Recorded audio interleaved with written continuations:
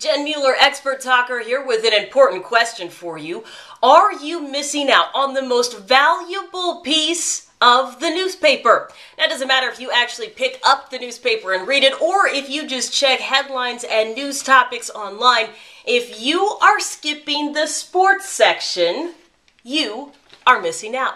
I saw a woman do this just last week on a plane. She read everything else in the newspaper and she just cast the sports section aside. Here's what she's missing out on and what you could be missing out on too.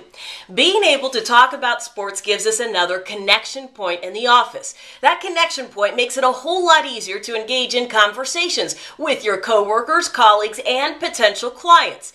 The easier those conversations, the more productive they are, the more business gets done, the more opportunities you have. Do you see the correlation there? If you skip the sports section, you're eliminating a very large subject matter that you could be talking about. And let's face it, ladies, if you work in an office place with a lot of guys, this is going to be key for building those relationships. In the next month, I want you to start picking up the sports section and I want you to watch for these things. I actually made a list of things that you need to be watching for. The first one, the BCS rankings. They come out for the first time this week.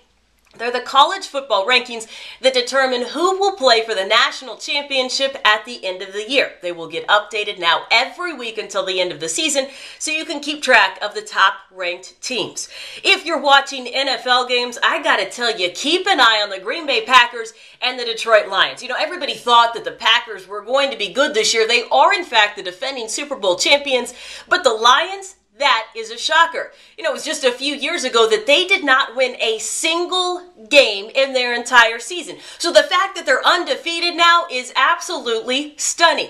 Here's the other little twist to that story that football fans are really paying attention to. There's only been one team in the history of the game, the 1972 Dolphins, that completely ran the tables and won every single game. So football fans are now wondering who can go the deepest into the season without suffering a loss. That's a little nuance there for you to keep track of.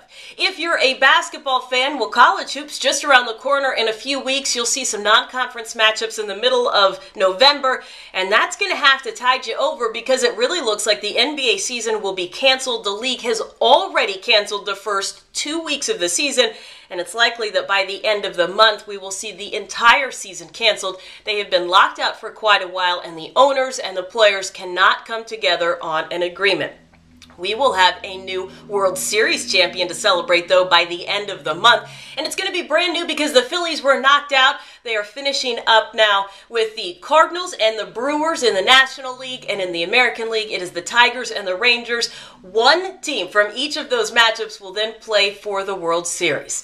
So that's what I want you to watch out for. It's not this month. It's not just this month, I should say. It is every month, which is why every month you can find a new edition of Talk Sporty to me on the Girl Power Hour blog. But you can also check out the website to learn how these conversations can be effective in the workplace. It is talksportytome.com.